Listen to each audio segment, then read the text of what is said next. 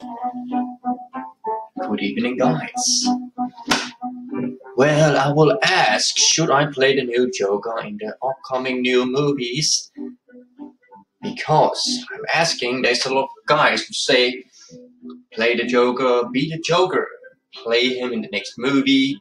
I don't understand why you are not in the next Joker movie. So I was thinking, why the heck not? So, now I'm gonna do a little intro of should I do it or should I not? Let's begin. Ladies and gentlemen, we'll see you later.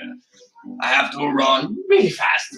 So, God damn it, there's too many police all around the world. What do I have to do about that? Welcome to Joker's Madhouse.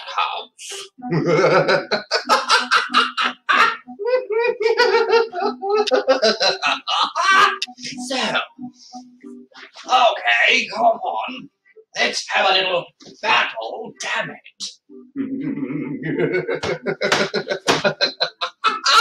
so, well, it's not because I'm crazy, I'm just completely insane.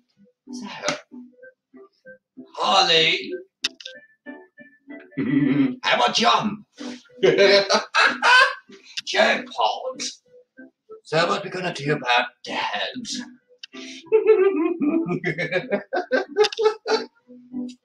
but you know what? I usually use this one to fab a little. oh, am I kidding? Ladies and gentlemen, a joke.